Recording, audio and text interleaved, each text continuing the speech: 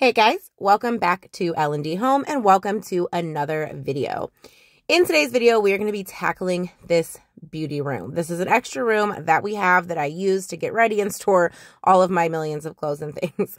And it has definitely seen better days. We had to cut a slit to make this mirror that we got for free fit so it didn't fall.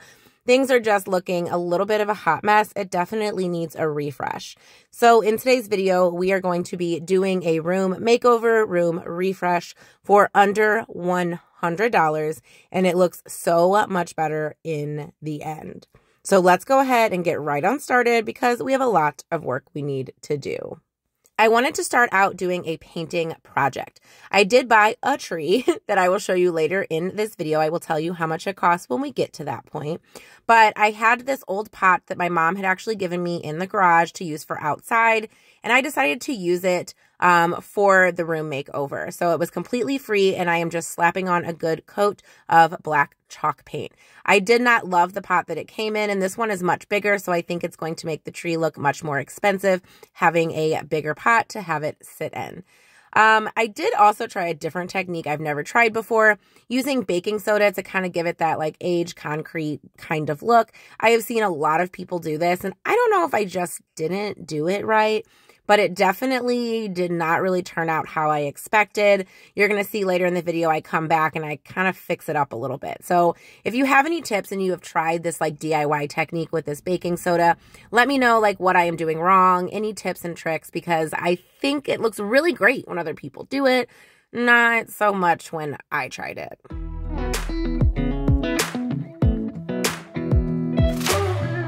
Next step is to get these donation clothes out of the middle of the room and just move some things out of my way because we are going to be moving the furniture around a little bit. And I will talk about why and how that's going to help the room in just a moment.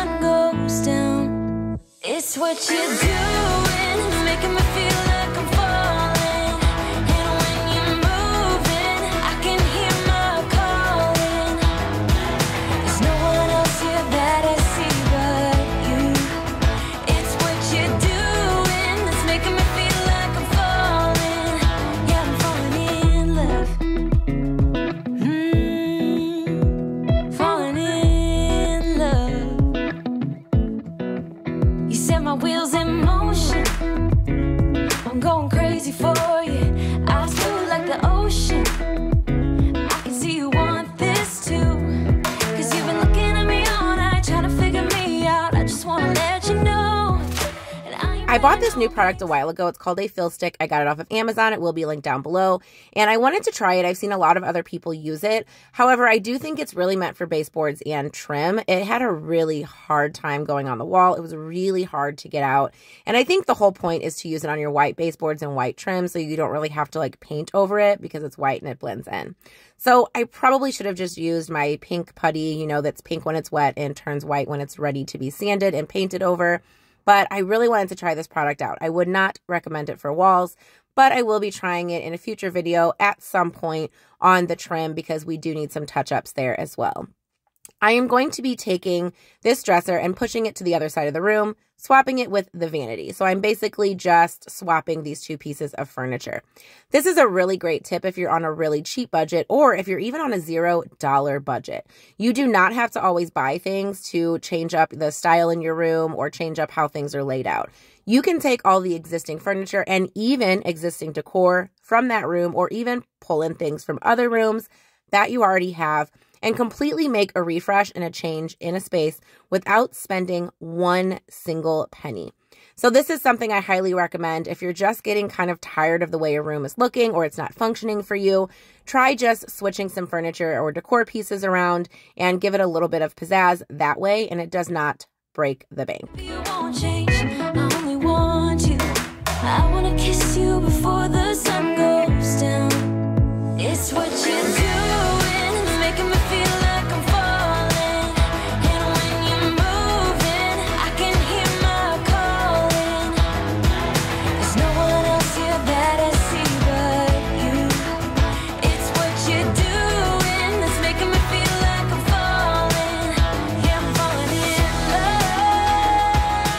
My first of two hiccups with this room refresh was the paint. So you see me looking at the can, checking to see if it's the right color, and I was like, yeah, Repose Gray. I don't know why I'm tripping. It's the right color. It's not.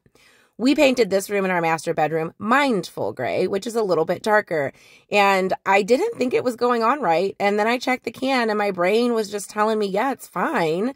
Because I only had one day to get this room makeover done. So um, I used the wrong color. I am going to fix that off camera. I didn't think you wanted to see me do any more painting, but one technique I like to use is feathering it out and then taking the brush and actually stippling because we have textured walls and that textured spray stuff is stupid expensive. So I did not want to spend any more money. I wanted this to be under a hundred bucks and I did not want to go over the budget that I was looking to have.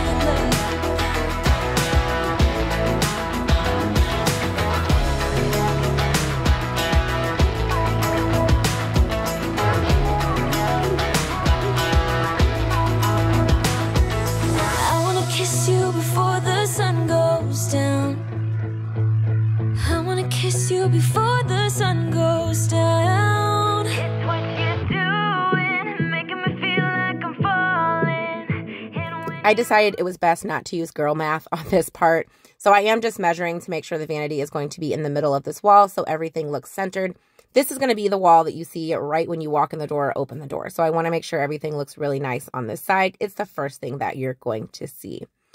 Also, if you are stressed out thinking that you want to do a room makeover, but you do not have the time, money, energy, whatever to get new furniture or paint it, it's okay. Um, these pieces are not going to be permanent. I've had all of these pieces for a very, very long time. And I do not plan on keeping them for a very, very long time. But right now, I'm just trying to change it up. I know that the vanity is not perfect. There has those notches in it from the old mirror it's a little bit, it's seen better days.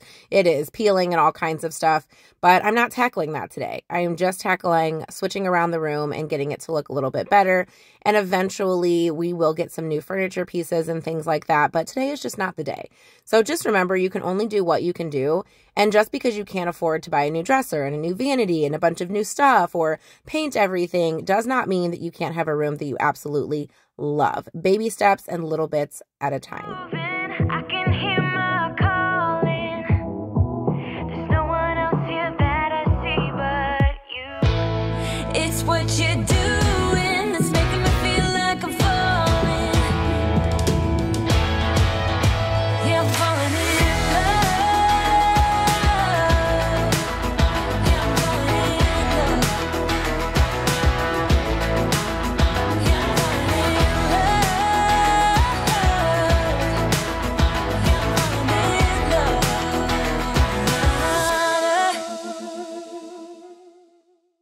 Another tip that I hear a lot is to completely clear out a space. And while I do love doing that if I can, I don't always have the space to clear out a whole room. Like you got to put that stuff somewhere. So I am moving these drawers. I think I moved them three or four times because they were in my way. So sometimes you just got to do what you can in a room and that's perfectly okay. It all worked out in the end and I didn't have to clutter up another space. This dresser is also something that is not going to stay permanent. A drawer slide is missing. A drawer slide is broke. It's fallen apart. One of the legs is held on by a screw that's barely in there, but we are just really making it work for now until we can afford to upgrade these pieces. So again, do not feel bad if your pieces are not perfect or they're not fancy Instagram, TikTok, YouTube worthy like you see some people do you you got what you got and you have the budget that you have and you can still have a beautiful home even if it's not perfectly curated like on an Instagram post.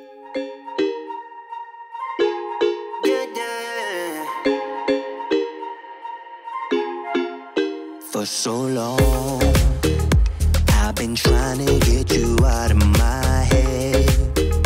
Oh yeah. But somehow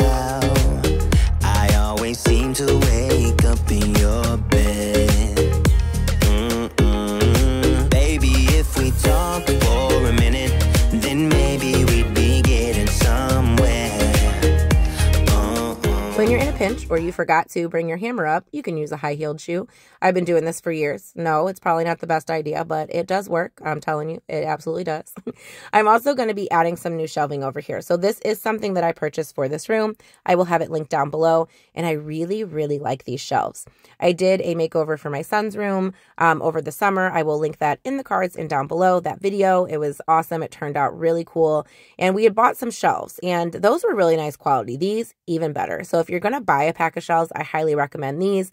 They were on sale when I purchased them. It was a pack of five, and Amazon was running a sale. I don't know if that sale will still be going on when this video goes up, but I liked how it had the little spots where you put the screws for the brackets. Another thing that I liked was that you could put the brackets either way. You can put them the way that you're going to see I'm going to do it here, or you can put them underneath the shelf, whichever look you like. You can even do a mix of both. I'm only going to be using four shelves here, and I am making sure that I use my level so nothing looks wonky. And I just magic erasered those pencil lines off later um, after I had everything said to go. But um, I am going to use that fifth shelf actually over on the vanity as like a little tray until I find a spot for it.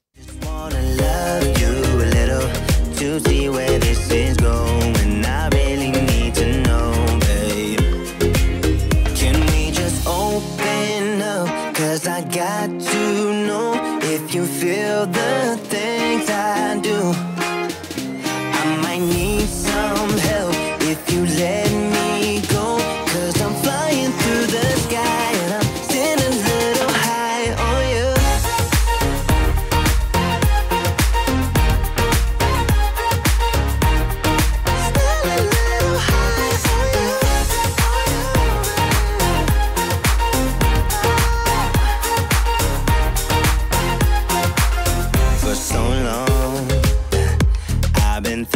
that we're more than just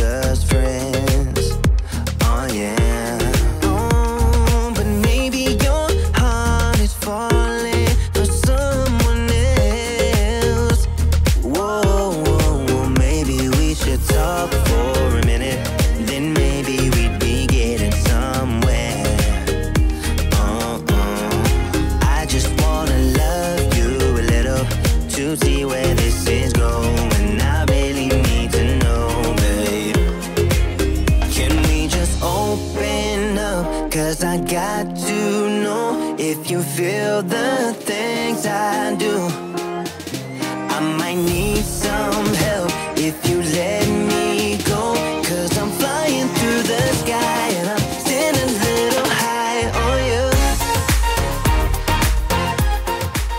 I decided not to bore you with the process of putting up all four shelves, but they are up and now I'm just going to wipe everything down because there was drywall pieces all over the place. And I'm just going to be styling these shelves a little bit with items that I actually already had on the other shelves. The shelves that you saw originally um, in the first part of the video where the room was set up and where we started were actually from Dollar Tree. So I'm just using some of those same things that I had on my dresser and on my shelves, and I'm going to be adding a few extra things as well. And everything that I'm putting on the dresser and the shelves are things that I already had. I did not purchase anything new besides the shelves themselves.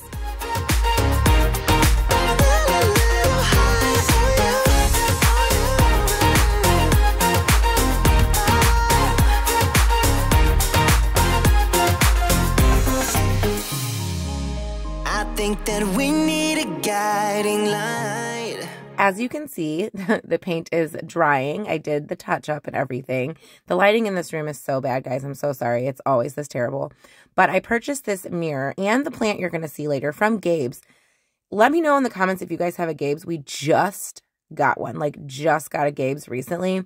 Went there for the first time and it was awesome sauce. So I got this mirror for 30 bucks, which I thought was a really good price because it was from originally Old Time Pottery. And I remember when I used to shop there and their mirrors were not $30. Like I bought one one time for like 80 or 90 bucks um, back in the day. So I thought $30 for this mirror was a good price and I really liked the look of it.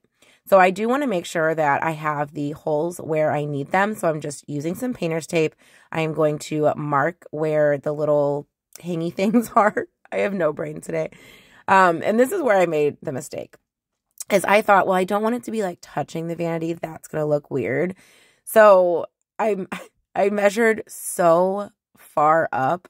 I don't know what I was thinking. Like I have I'm used to that big mirror that has no edges and it was huge and I don't know what I was thinking, but you're going to see my second mistake coming up very soon in this video that I hung the mirror completely completely off. Right now we're running around in circles.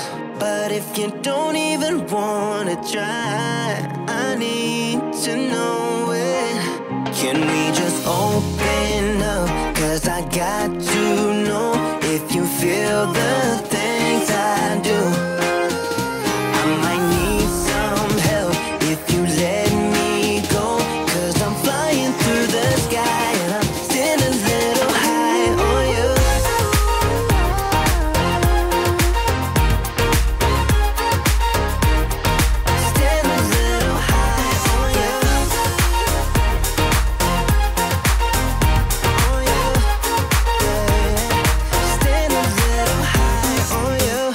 This about the moment when I pull up my chair and sit down and realize I can only see the top of my face. that is me looking at myself in my closet mirrors like, Lene, are you kidding? You knew better than this. So I had to take the whole thing down. I actually had to take the whole thing down twice because I moved it down to where it should have been and then realized it wasn't level. So I put so many holes in the wall, guys. It's ridiculous. I did try to fill it with some putty stuff that I had, which I probably should have mixed up first because it was kind of like gross and watery, but I was just so tired at this point. So, all that to just say, like, mistakes are going to happen, mishaps are going to happen, unexpected things are going to happen when you're doing any project in your house, and just don't beat yourself up. Just roll right through it you know, switch gears, fix it if you can, and everything will all turn out in the end, even if you have to put in a little extra effort because you were silly the first time. But it's just bound to happen.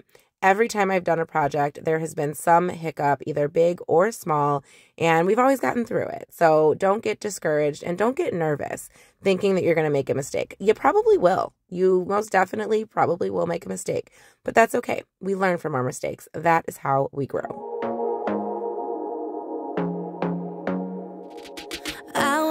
Be daring, baby, dance the night away. I let my head down if I want.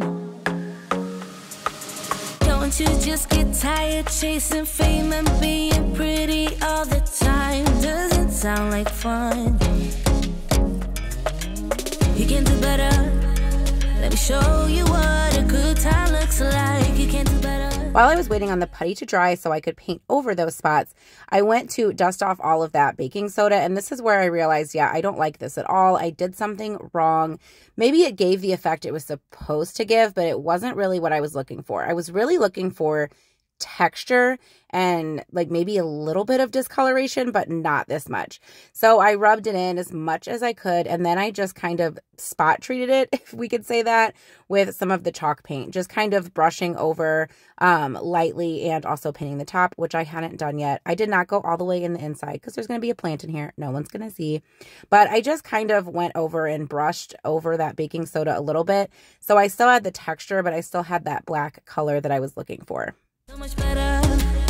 Mm-hmm. I don't fit into your box. Beauty queens without no flaws. You can do better.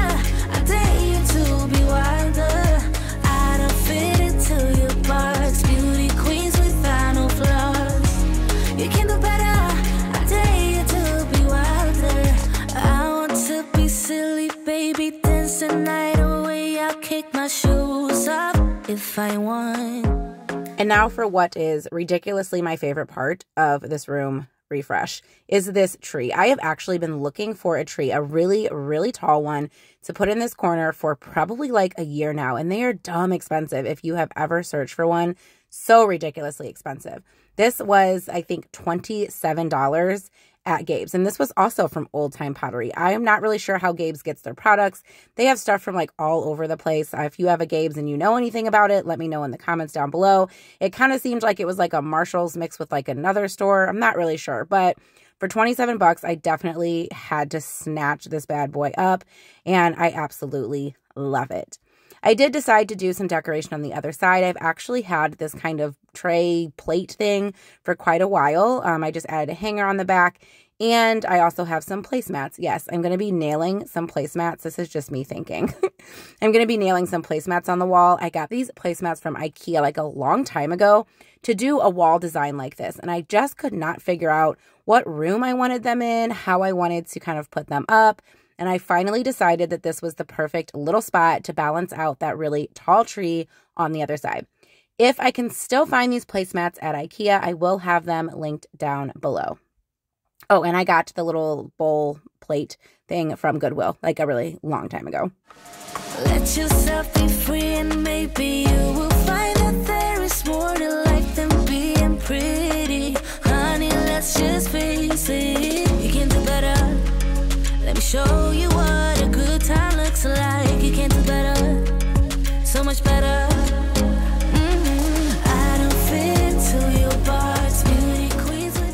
Let's remind ourselves what this room looked like when we started out. Now, besides the fact that it was a hot mess and I needed to organize and clean a little bit, it just wasn't looking really decorated or curated. It was just looking very thrown together. And that is the vibe that I really wanted to change was that I just threw stuff in a room and didn't really decorate much kind of vibe or decorated kind of cheaply.